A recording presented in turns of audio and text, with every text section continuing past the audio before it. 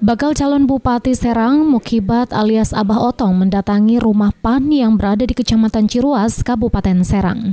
Kedatangan Abah Otong ini dalam rangka untuk mengembalikan berkas pendaftaran penjaringan bakal calon bupati di Pilkada Serang 2024-2029. Kedatangan Abah Otong bersama keluarga dan relawan disambut oleh pengurus dari Partai Amanat Nasional Kabupaten Serang, yakni Ketua DPD bersama pengurus PAN lainnya.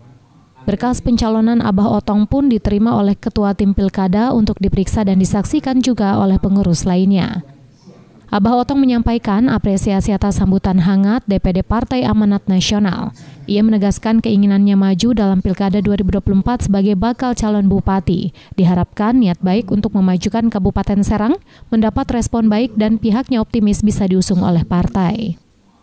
Ya, kita tidak berangkat bersama, kita harus dengan partai yang saya banggakan semua yang saya daftar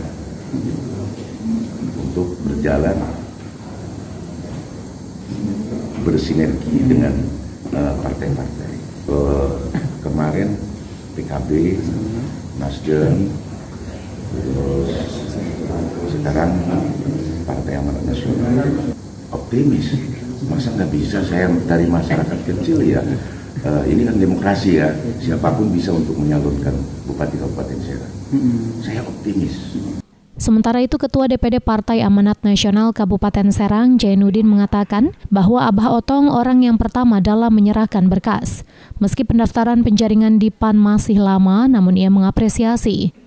Sejauh ini yang sudah mengambil formulir baru dua, yaitu Andika Hazrumi namun belum mengembalikan, dan Abah Otong yang sudah mengembalikan. Secara administrasi kita menerima pendaftaran dulu. Nah, Abu Otong ini Pak Haji Muhibat ini sudah sangat cepat, baru beberapa hari yang lalu. Walaupun kita belum apa belum jadwal pengembalian tapi tidak apa-apa kan itu hanya administratif.